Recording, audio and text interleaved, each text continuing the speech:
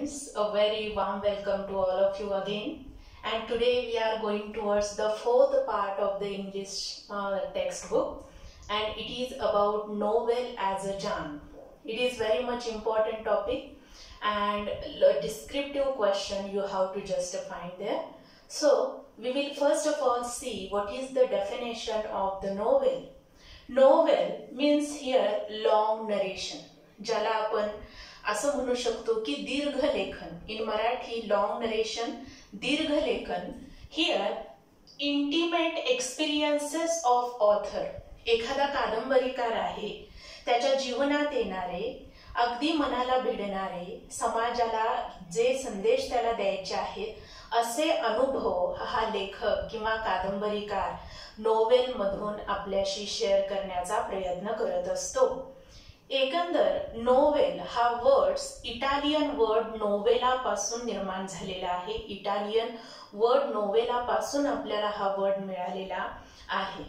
तर नोवेलच्या सेक्शनमध्ये पाहत असताना first of all we will discuss here elements of novel what are the elements of novel what are the important things which are related with the novel we will see in this class okay friends so first that is the theme theme of the novel means what? It is also known as the central idea.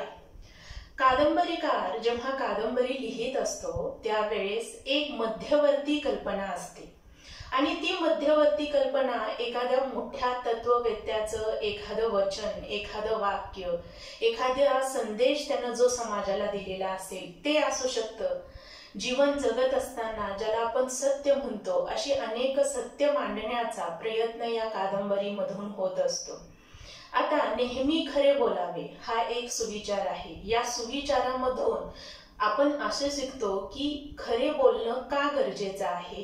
खोटं ज्यावेळेस आपण बोलतो भलेही त्याचा तात्पुरता फायदा आपल्याला होईलही पण कदाचित पुढच्या जीवनामध्ये त्याचे अनेक तोटे आपल्याला फेस करावे लागतात त्यांना सामोरं जावं लागतं.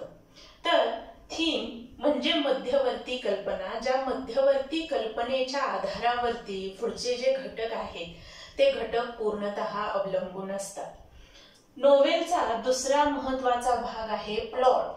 Plot the very simple definition of the plot that is serial arrangement of the events याला मराठीमध्ये मांडायचं झालं तर घटना योग्य क्रमानं योग्य क्रमानं ज्यावेळेस एखादा व्यक्ती मांडत जातो तेव्हा त्याला प्लॉट असं म्हणतात.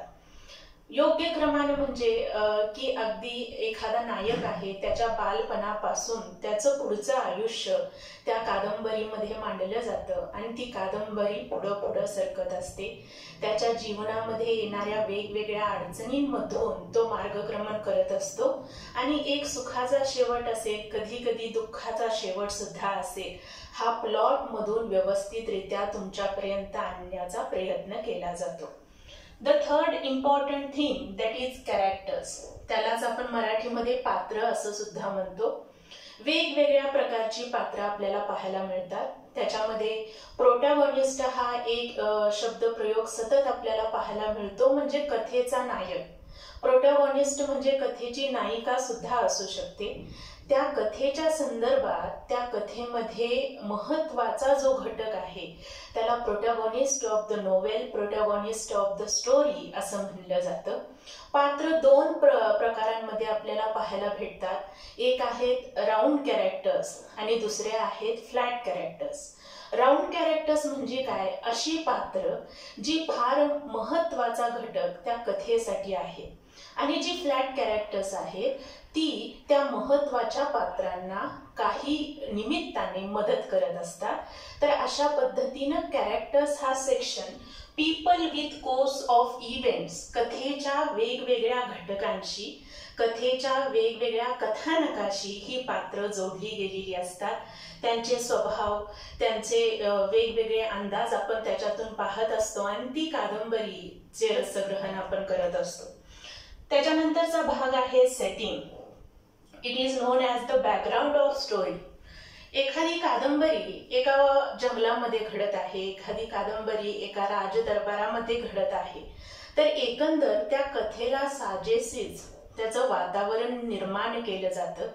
एखादं कथानक पूर्णपणे ग्रामीण भागामध्ये होत आहे असं त्याला भासवायचं असेल तर जे स्टेज आहे त्याच्यामध्ये वेगवेगळ्या पद्धतीचं सेटिंग करून ते एक खेडा आहे तो ग्रामीण भाग आहे असं भासवण्याचा प्रयत्न केला जातो. यालाच आपण सेटिंग असं म्हणतो.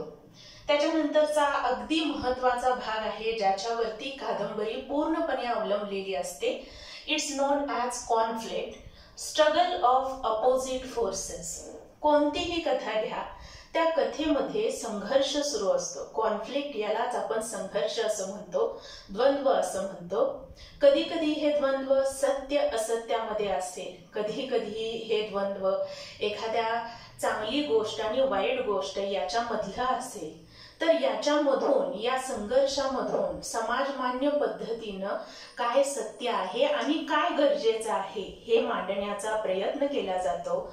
आणि त्यालाच आपण काय म्हणतो? कॉन्फ्लिक्ट म्हणतो. संघर्ष की ज्या दोन बळांमध्ये एक संघर्ष सुरू आहे आणि त्याच्यातून एखाद्याचा जय जयकार होतो आणि त्याच्यामधून समाजासाठी एक चांगला संदेश देण्याचं कार्य केलं जातं.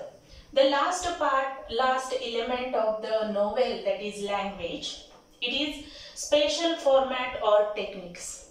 एखादा कादंबरीकार कथा लिहित असताना दुसऱ्या कादंबरीकारासारखी कॉपी करण्याचा प्रयत्न करणार नाही तो त्याची वेगळी शैली तिथं डेव्हलप करण्याचा प्रयत्न करणार आहे वेगळी शैली ज्या शैलीद्वारे वेगळ्या तांत्रिक गोष्टी की ज्याच्याद्वारे वाचक त्याच्या त्याच्या लिखाणाकडे आकर्षित होतील आणि त्याच्यामधून ते रसग्रहण करतील. हा कायम एका कादंबरीकाराचा एखाद्या लेखकाचा एखाद्या कवीचा उद्देश असतो आणि त्याच्या अर्थानं ती कथा पुढं पुढं सरकत असते. तर मित्रांनो हे सगळे महत्त्वाचे घटक आहेत. कादंबरीकार जेव्हा लिखाण करतो तेव्हा या सर्व घटकांचा तो विचार करतो आणि त्याच्यातून कथा पुढे नेण्याचा ती अजून आकर्षित करण्याचा तो सदैव प्रयत्न करत असतो आणि त्यामुळे कादंबरी ही नेहमीच वाचकांसाठी एक सेंटर ऑफ अट्रॅक्शन ज्याला म्हणतो ती राहते. तर हे महत्त्वाचे घटक या सिलेबसमध्ये बारावीच्या टॉपिकमध्ये आपण शिकणार आहोत. सो हे सर्व व्यवस्थित जाणून घ्या. त्यांचा परत एकदा अभ्यास करा. थँक्यू